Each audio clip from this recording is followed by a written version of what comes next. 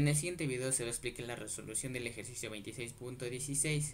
de tecnología de membranas, en este caso de pervaporación, el cual fue obtenido del libro de operaciones unitarias en ingeniería química. El enunciado dice, se estudió la separación de mezclas de tolueno-etanol usando una membrana de polietileno en una pequeña celda de pervaporación con una atmósfera de presión y 30 grados centígrados en el lado de la corriente de ingreso y un vacío completo sobre el lado del permeato, las tasas de permeabilidad del componente puro fueron de 3.89 por 10 a la menos 4 kilogramos sobre metro cuadrado segundo para el tolueno y 0.273 por 10 a la menos 4 kilogramos sobre metro cuadrado segundo para el etanol.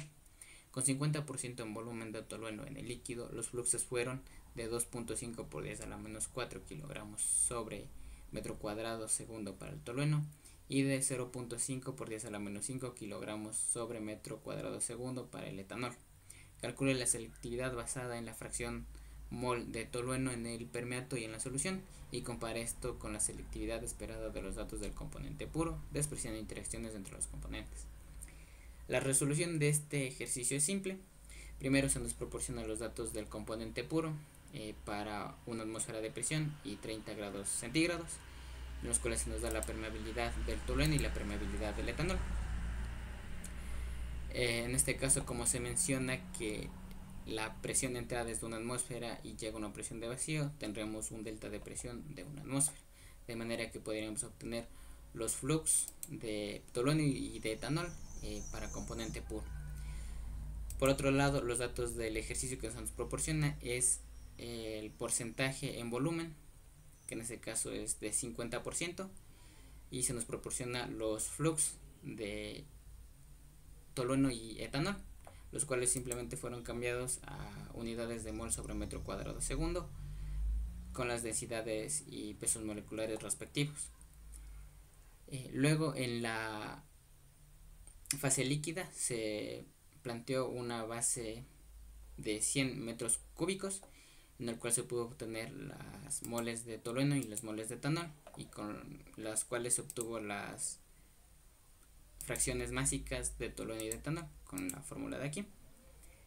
Eh, para obtener la selectividad eh, nos eh, falta la concentración en la fase de gas del tolueno. Para ello se utilizó las ecuaciones que se encuentran igual en el libro eh, esta es una de ellas en la que el flux de A sobre la suma del flux de A más B, en este caso sería tolueno sobre el flux de tolueno y etanol, nos da la fracción molar en la fase gaseosa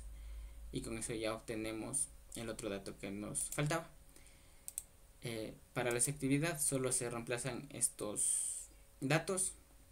y obtenemos que la selectividad para el 50% en volumen de tolueno es de 45.5 mientras que para hallar la selectividad del, del tolueno igual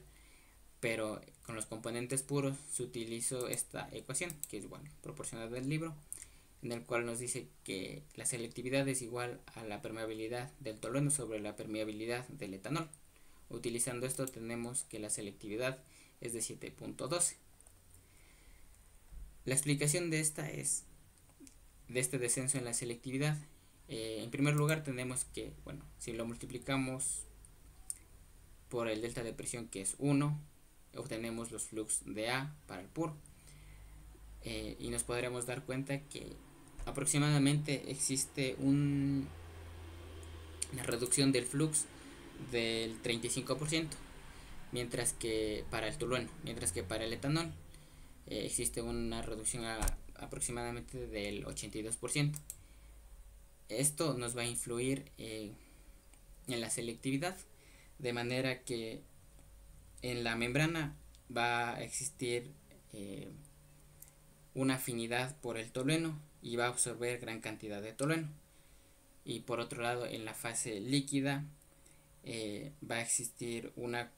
cantidad de tolueno que va a reducir la permeabilidad del alcohol y con, esta, y con esto se va a obtener una selectividad menor de la que se debería obtener con el componente puro. Gracias.